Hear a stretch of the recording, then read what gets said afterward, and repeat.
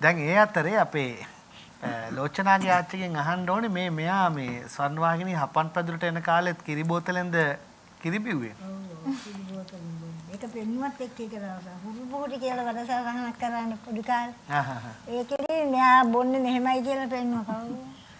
ඔව් ඒ කාලේ ස්වර්ණෝදය. ප්‍රෝග්‍රෑම් එකේ මේ මම නහයෙන් පෙන්නන්නම් කියලෙවල්ලා ලයිව් එකේ මායි මගේ යාළුවා ඉන්නවා. එතකොට ඉතින් බෝතලෙන් කිරි බීලා මේ තමයි ලයිව් එකට එන්නේ.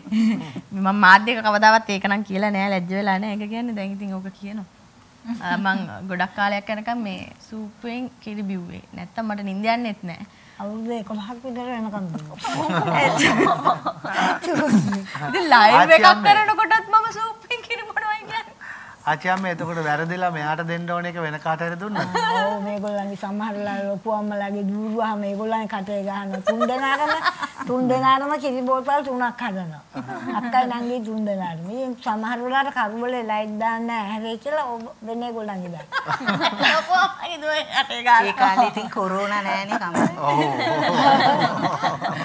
ඒවට අසාධාරණ නෙවෙයි උදේ නැගිටකොට අපිට කිරි නෑනේ. ඒ අය බලන ඇති ඒ බලන මේ මොකද එක්ක නෑ? නෑ කෑ ගහගෙන නැගිටිනවා. ආච්චි අම්මේ මගේ මගේ මගේ කටේ නෙවෙයි.